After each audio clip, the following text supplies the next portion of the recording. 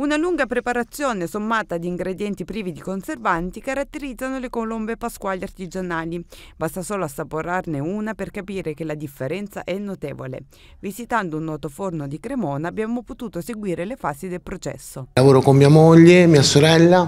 Nel periodo natalizio Pasqua, di, di Pasqua realizziamo il dolce tipico classico, la colomba, il panettone e volevo farvi vedere i procedimenti che, che c'è bisogno di fare. Ecco. Da dove parte lei? Allora, si parte da un lievito naturale nostro, di nostra produzione e noi lo teniamo così, questo sarebbe il terzo rinfresco, e, um, lui lo usiamo tutti i giorni, nel momento in cui andiamo a produrre la colomba o il panettone va rinfrescato per tre volte in modo che perda un po' di acidità forte e mm, andiamo a sfruttare tutti i fermenti lattici che si creano all'interno del lievito naturale.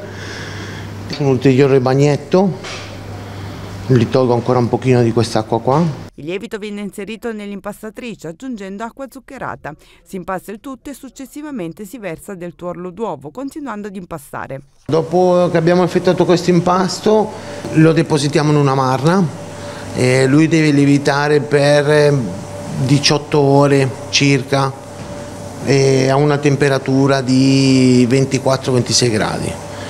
Eh, l'indomani, finito questo impasto qui, l'indomani ce lo ritroviamo in questa maniera qui, quindi già qui dentro c'è già del tuorlo, dello zucchero, del burro, tutto incorporato Oltre che con i canditi lo, eh, fate la colomba pasquale anche con altri gusti. Sì, facciamo cioccolato e cioccolato bianco e quest'anno vogliamo fare al caramello salato, quindi ci sarà del caramello all'interno dell'impasto che lo renderà ancora morbido e delle goccioline di caramello che poi si sciolgono dentro durante la cottura e sono buonissime.